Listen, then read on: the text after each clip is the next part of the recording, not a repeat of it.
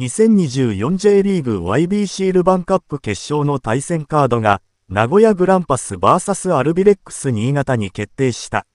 名古屋は準決勝で横浜 F、マリノスと対戦。敵地での第1戦を3対1で制した名古屋は、2戦目で1-2と敗戦。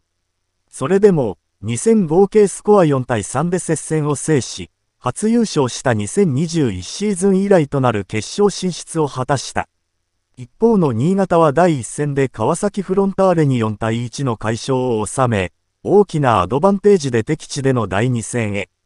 小見陽太が先制点を挙げると、終盤に太田修介がダメ押しのゴールを奪って2対0で勝利した。